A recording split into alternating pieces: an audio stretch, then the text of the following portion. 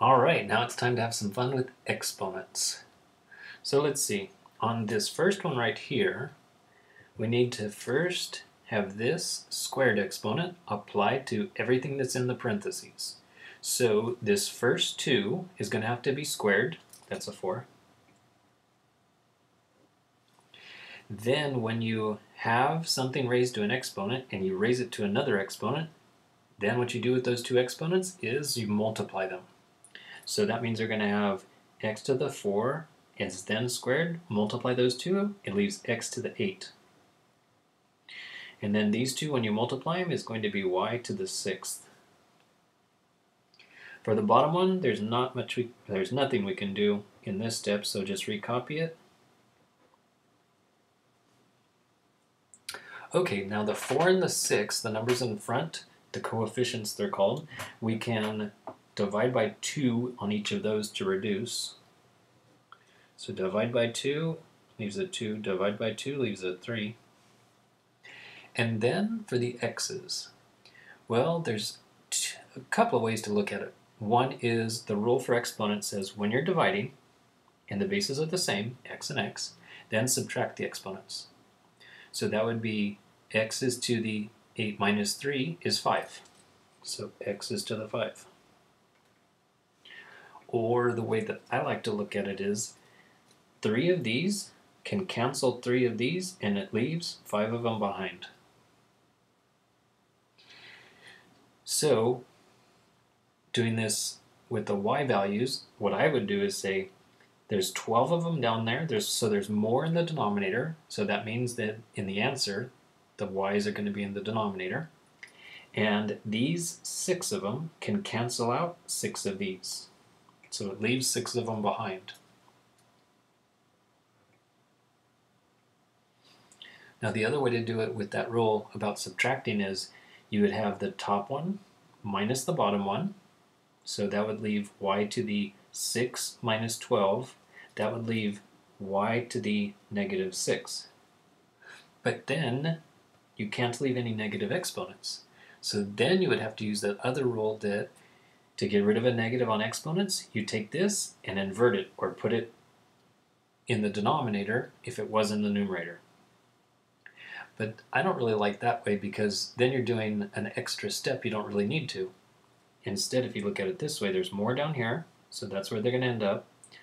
However many here cancels however many, six of them. These six will cancel six of these, leaving six behind, and then you're done. Part B. Okay, so first of all, we need to use this 3, so everything is going to be cubed. 3 cubed means 3 times 3 times 3, which is 27. Then um, a to the 6 is raised to the third. Multiply those as a to the 18. And when I multiply these two, it's going to be b to the negative 9. And then I can just put multiply with, in fact, I don't even need to put a dot. I can just say a to the negative 4 and b to the 7. And that means the same thing as if the parentheses were there. It means multiply.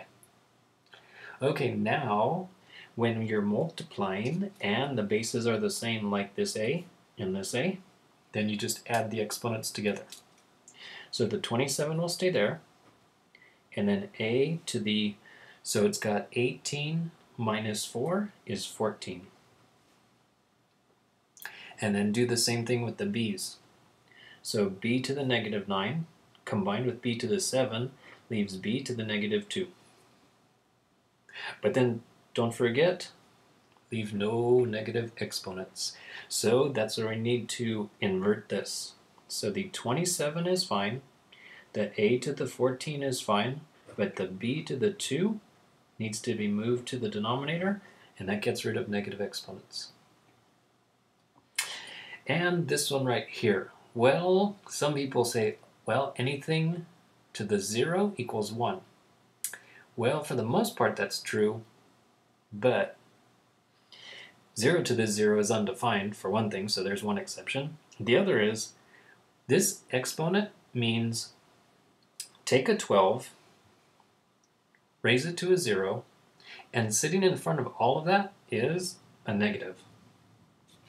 So the answer is actually going to be the negative is sitting there, minding its own business. The 12 gets raised to the 0, which is a 1. And so the result is that it's negative 1. You want proof? Let's see how smart the calculator is. If you take a negative 12 and raise it to a 0, yay, calculator, you're so smart.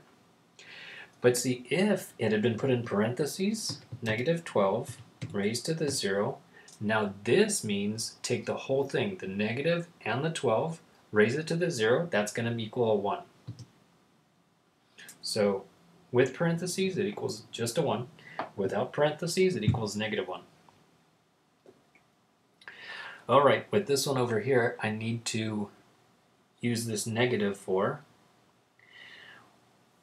Well, there's a couple of ways you could do it. One, just like I did over here, have the square applied to all three things inside the parentheses and then go from there. This one, though, is negative. So this 4 I'm pointing to, this 4 is negative, so what I could do in the first step is just invert the whole thing. So with the rules of exponents, they don't have an order of operations. You are allowed to do the rules of exponents in different orders. And at the end, you'll end up with the same answer. So I'm going to invert this whole thing. So that means take 2 and x to the 5 and y to the negative 6 and then the 4 becomes positive.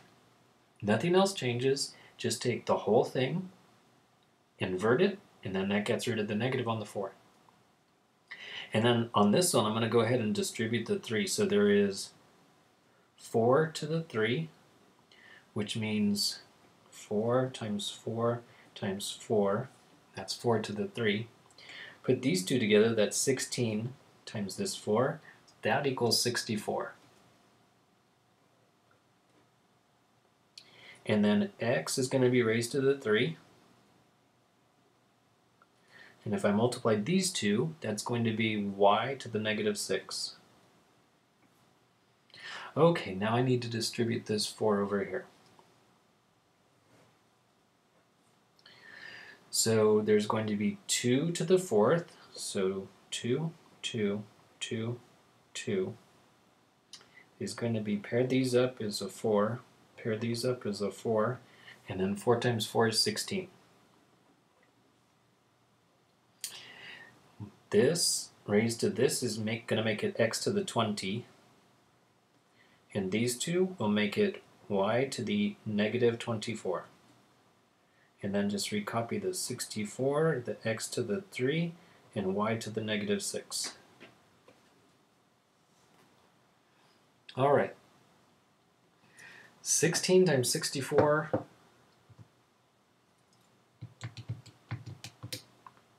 a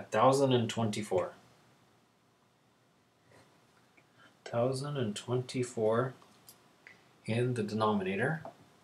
For x's, there's 20 of them here and 3 of them there, so they're both positive. That means 23, x to the 23.